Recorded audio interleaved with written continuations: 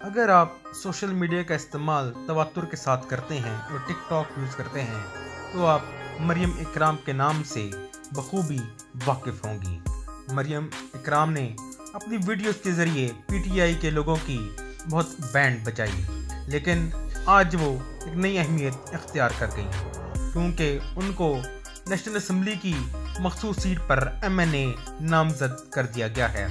X पर मौजूद मुस्लिम league नून के अकाउंट्स ने मरियम इकराम को बहुत ट्रोल किया है और क्यादत से मुतालबा किया है कि उन्हें इस सीट पर ना बिठाया जाए, लेकिन क्यादत के कान पर जूं तक नहीं रेंग रही। कि डिजर्विंग खवतान लाइन में बैठी इंतज़ार कर रही हैं कि कब क्यादत उन्हें नेशनल असम्बली या प्रोविंशियल असम्बली में अकोमोडेट करेगी, लेकिन एक पैराशूटर को एम एन ए बनाकर मुस्लिम लीग नून ने कोई अच्छी मिसाल कायम नहीं की, ये नेपोटिज्म की इंतहाई बुरी शक्ल है।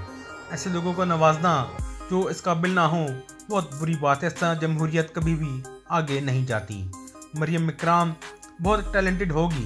उनकी, उनके टैलेंट पर किसी किस्म का शक नहीं किया जा सकता, लेकिन वो एक नई खातून है। वो कानून साजी करने की, का तजर्बा बिल्कुल भी नहीं रखती।